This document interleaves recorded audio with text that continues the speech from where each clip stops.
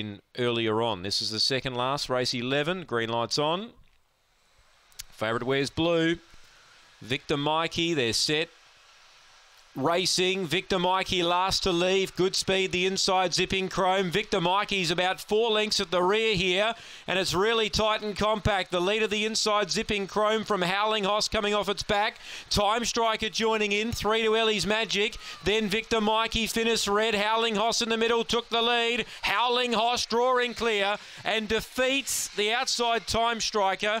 Zipping Chrome third and Victor Mikey got into all sorts of bother. The favourite ran fourth. Then Finis Red and Ellie's Magic last in. Howling Hoss. Titan right up on the tote late.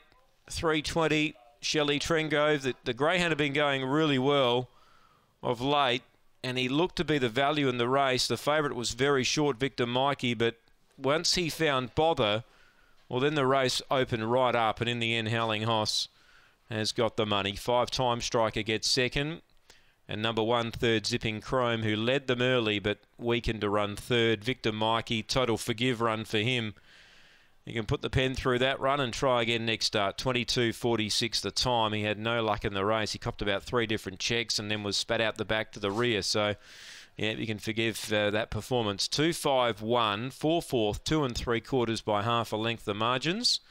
And the winner's prepared by Shelley Trengove, number two.